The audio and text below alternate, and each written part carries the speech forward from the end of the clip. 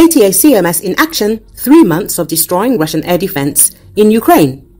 A few weeks after reports surfaced in the American press in mid-March that the United States was preparing to transfer new batches of ATACMS tactical ballistic missiles to Ukraine, there was a notable uptick in missile strikes targeting Russian air defense systems in the temporarily occupied territories of eastern Ukraine and Crimea. The Militarny media outlet wrote this. It is noted that in addition to air defense systems, the missiles also hit other important facilities and equipment of the Russian invaders. The first publicly known strike occurred on April the 17th when MGM-140 ATACMS missiles targeted Russian facilities near the military airfield in Dzhankoy. This airfield hosts the 39th Helicopter Regiment of the 27th Mixed Aviation Division, part of the 4th Guards Air and Air Defense Forces Army of the Southern Military District, comprising three aviation squadrons. The missile strike destroyed three launchers and a radar station of the Russian S-400 Triumf air defense system. Following this, a second significant strike was reported at the Reception and Repair Center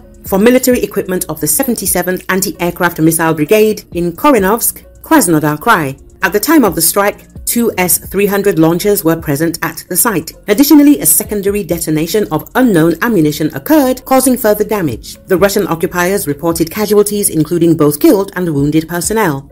Satellite imagery confirmed the extensive damage to the Russian air defense systems and the airfield in Dzhankoy, showing the remnants of four S-400 launchers and evidence of a fire near an ammunition depot. It is worth noting that representatives of the armed forces of Ukraine or the Ukrainian government didn't make any comment on the issue. Information about these strikes came from social media, news agencies and other media, including those of the aggressor country. On the night of April the 30th, another missile attack targeted the Dzhankoy military airfield. Days later, satellite images revealed the destruction of an S-300 or S-400 air defense system launcher.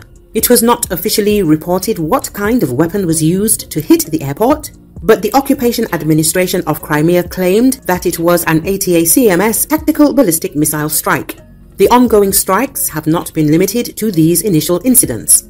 Later, the Ukrainian Defense Forces started targeting the Russian invaders' military facilities in the eastern part of Ukraine that is currently under temporary Russian occupation. On May and June, Ukraine hit the Russian army several times with ATACMS missiles. The armed forces of Ukraine use both M142 HIMARS wheeled launchers and M270 tracked launchers to deploy ATACMS tactical ballistic missiles.